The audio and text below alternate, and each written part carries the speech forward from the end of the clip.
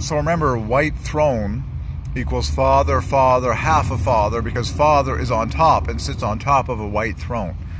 It also divides by five because five is the number of joy, just like white and throne both divide by five, ending in an E, which is five. Okay, so it's God's maximum joy to sit on a white throne. Both color, both words divide by five, but perfectly white throne adds in total to 145, which equals father, father, half a father, 58, 58, 29. Okay.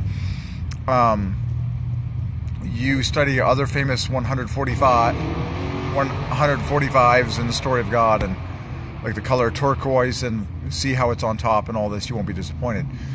Um, but um, man, I think turquoise is on top, anyways. Like peacock, the eye of the peacock feather. You got you can meditate on that one in the story of God. But um, I felt led to preach on the fact that God the Father is sitting on top of a white throne right now. Read the book of Revelation. And white throne equals father, ha, father, father, half a father. Okay, very obvious gems here. Okay, the word on equals